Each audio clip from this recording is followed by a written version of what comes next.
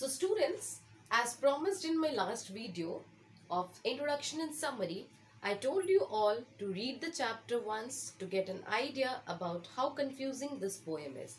So today, in this video, we are going to continue the poem with explanation of the lines, with explanation of all the stanzas.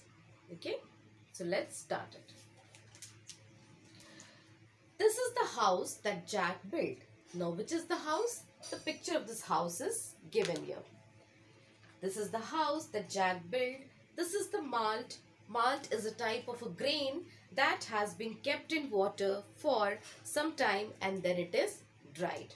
Okay, it's a type of grain. Simply to understand, it's a type of grain. So this is the house which Jack, which is the name of a person, he built this house and this is the malt. This is the dried grains that lay in the house that Jack built. Now where is this malt?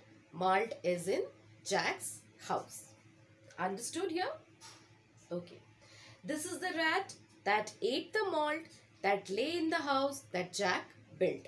Now again, there is a rat which is living in the house of Jack which is eating the malt which was kept. Okay, so there is a house which Jack built. in that house, there is grain, there is malt and there is rat who is eating that malt.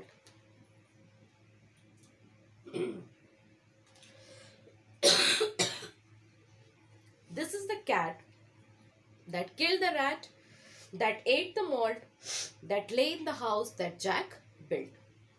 Now again, in the same house, there is a cat also who killed the rat who was living in the Jack's house. And who was this cat?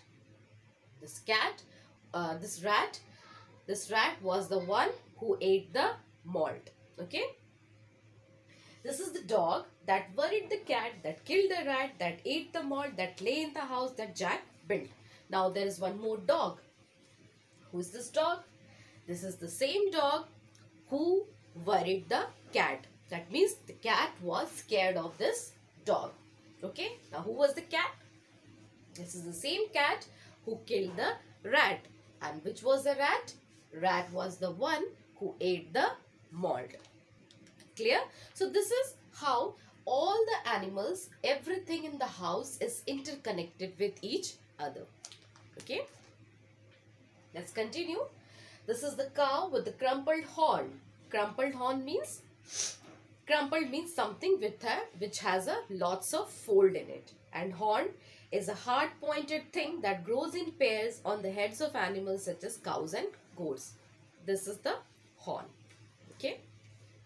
So this is the cow with crumpled horn that tossed the dog, that worried the cat, that killed the rat, that ate the malt, that lay in the house that Jack built.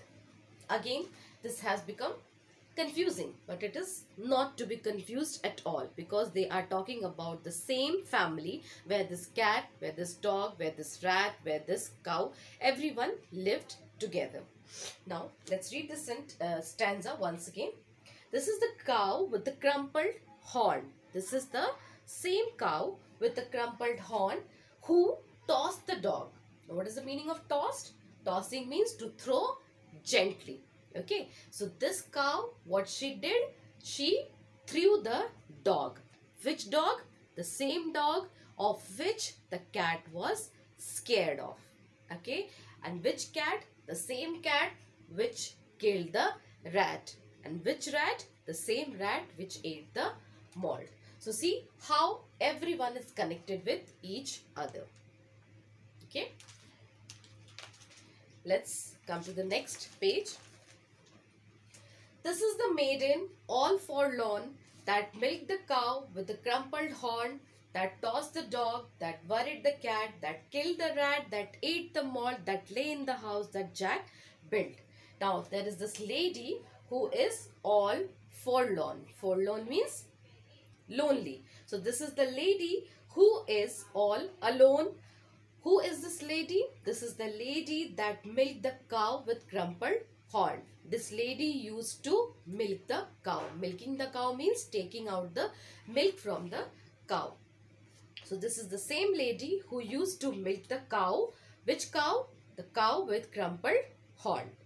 That tossed the dog, that worried the cat, that killed the rat, that ate the mud, that lay in the house that Jack built. Now, eh, now again, here all the animals, they are interconnected as discussed earlier. Okay. Now, there's a man who is described here. This is the man all tattered and torn that kissed the maiden all forlorn. Now, this is the man. Who is this man? This man is all tattered and torn. That is all old and torn. He is wearing torn clothes. And who is this man? He is the same man that kissed the maiden all forlorn. That kissed the maiden all forlorn means he was having an affair with that lady. Okay, he was in love with that lady that milked the cow with the crumpled horn. Which which uh, woman is he talking about? It is talking about the same lady who used to milk the cow with the crumpled horn. And which uh, cow again? The same cow that tossed the dog, that worried the cat, that killed the rat, that ate the malt and the lay, that lay in the house that Jack built. Now again, all the animals which we talked about earlier, they are interconnected. This is the priest all shaven and shorn that married the man all tattered and torn. Again, a priest is introduced here. Who is this priest? He is the priest all shaven and shorn. All shaven and shorn means he is bald. He is not having uh, hair on his head. He is a bald man. That married the man all tattered and torn. This uh, priest, he helped this man married the lady that kissed the maiden all forlorn, that milked the cow with the crumpled horn, that tossed the dog, that worried the cat, that killed the rat, that ate the mud, that lay in the house that Jack built, that lay in the house that Jack built. Now who is this priest? This priest helped this man marry that lady who used to milk the cow with the crumpled horn. Okay. Now who was that lady? The lady used to milk the cow with the crumpled horn.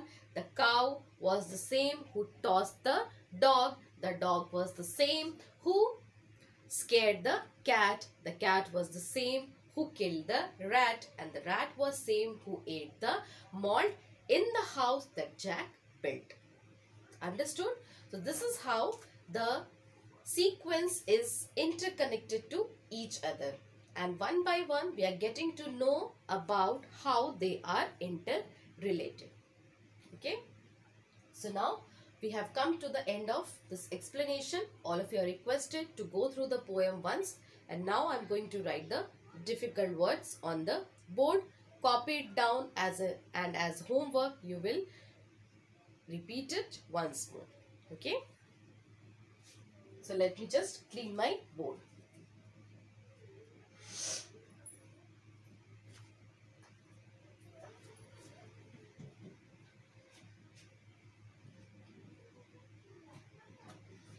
So, difficult words.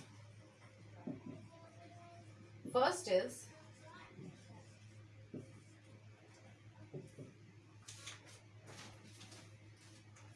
malt.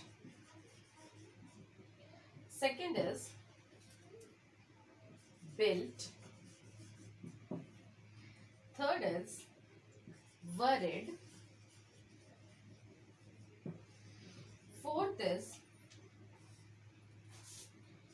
crumpled. Fifth is tossed. Sixth is maiden.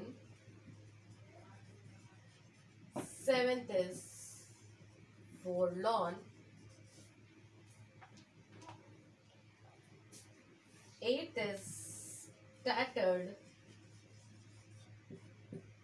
ninth is shaven and tenth one is shorn. So these are 10 difficult words that you need to write in your copy and as homework you will repeat it. So I am writing homework here.